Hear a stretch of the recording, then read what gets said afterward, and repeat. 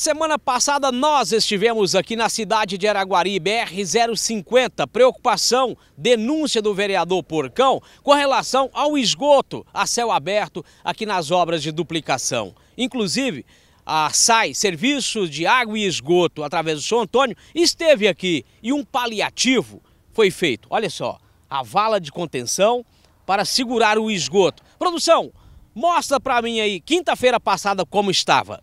Beleza? Então, essa vala foi feita de contenção no final de semana e hoje, terça-feira, eu estou aqui acompanhando o trabalho do pessoal da SAI.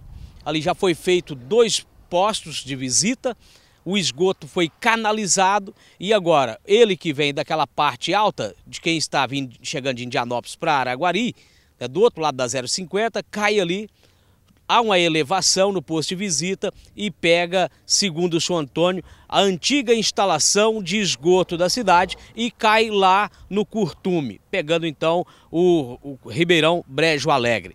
Estou satisfeito. Satisfeito porque, com a denúncia feita no Linha Dura, providência foi tomada e a poluição, pelo menos aparentemente, está resolvida.